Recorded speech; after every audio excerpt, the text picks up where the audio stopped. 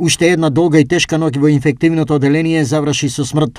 Двајца пациенти од Злетово Кочени не го издржаа корона ударот и ноќва починаа. Станува збор за пациенти на возраст од 73 и 83 години кои беа во многу тешка здравствена состојба. За жал, сите обиди за спас на нивниот живот завршија безуспешно. Информираат од болницата. За два дена ова е втора двојна смрт на инфективното, откако завчера починаа исто така две лица на возраст од 35 и 38 години.